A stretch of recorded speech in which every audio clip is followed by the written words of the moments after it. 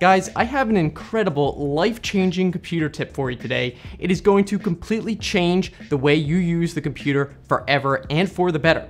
When I discovered this trick, I was surprised that no one had ever mentioned it before, and I've never even seen any articles written about it. I assume it's some kind of secret forgotten feature or something built into Windows, but now you'll be able to take advantage of it. And when I say incredible tip, I really mean it. You'll be completely amazed at how much time this tip is going to save you, probably hours a day, and you can use it at work to be more productive and get a higher raise, or even just get your normal work done way faster and then have extra free time. The possibilities are truly endless, so definitely stick around, you won't want to miss this.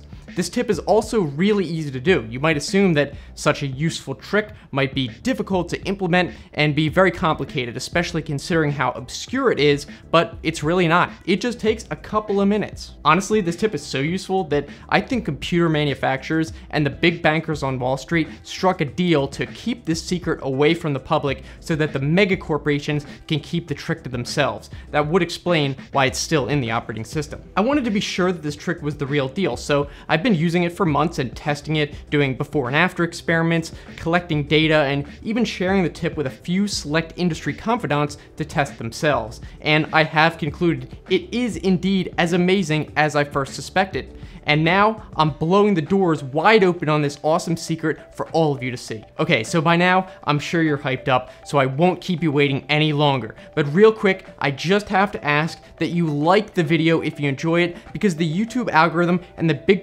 corporations and bankers on Wall Street will probably try to suppress it. So we have to be sure to be able to overcome that. So again, I ask you not only to click the like button, but also smash the like button. In fact, I would prefer if you completely annihilated the like button.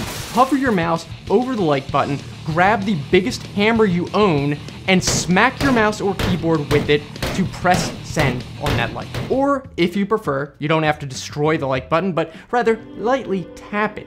This might be better if you're on a tablet because you won't risk damaging it, therefore not being able to watch any more of my future tip videos. You can just ever so slightly press the like button, just enough to barely register on your tablet, so lightly that the first time it might not even register. So be sure to look and make sure that the like went through.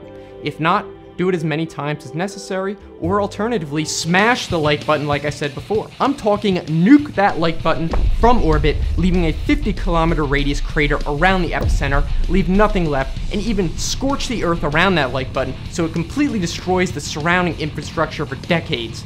If there is even a single pixel remaining of that like button, it's not good enough. And by now, I trust that you have sufficiently clicked the like button so we can finally get to what you've been waiting for. So sit down at your computer and be ready to follow along because I'm ready to give you this super cool computer trick. So be sure your computer is on and ready to go. If you aren't sure how to turn on your computer, usually there will be what's called a power button with a symbol that looks like this. If you press it and nothing happens, your computer may not be plugged in, or your power supply switch may not be on either.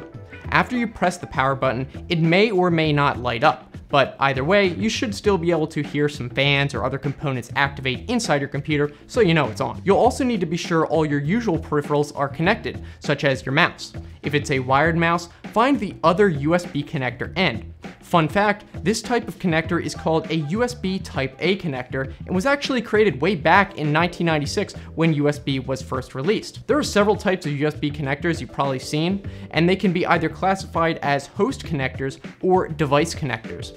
The term host means the computer or device that initiates all the communication across the USB cable, whereas the device only receives and responds. This is the reason Type A connectors are almost always seen on computers, but never on devices like printers or any other peripherals. There are several other types of host connectors, but Type A is the most well known.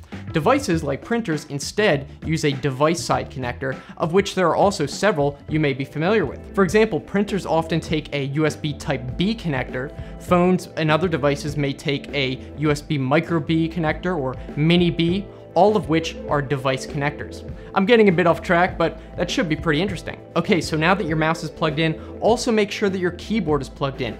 This may also have a USB Type A connector, so you already know what to do with that. Oh, and this reminds me, fun fact about keyboards.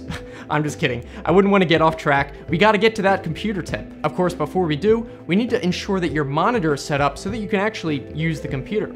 Just like your computer itself, there will likely be a power button of some kind on your monitor to turn it on. It may be on the bottom hidden away. If it turns on but there's no picture, you probably just forgot to connect the display cable. Now your monitor may support several kinds of cables, but the most common are either HDMI or DisplayPort and either will do.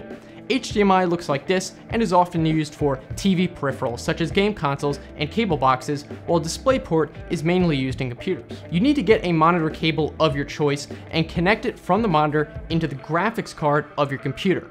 Just look for the matching port and it should be handled automatically. When the monitor turns on, you should be good to go. Okay, so at this point, you're completely ready. You're sitting at your computer, your computer is turned on, your mouse, keyboard, monitor, all connected and working. So finally, here's the tip. On the desktop, hold down the Windows key and press the following secret key combination. Oh crap, guys, I completely forgot I have an appointment I have to leave for. This will have to be finished later, so be sure to subscribe for part two where I'll definitely give you the tip right after explaining the history of computers. Oh, and by the way, April Fools.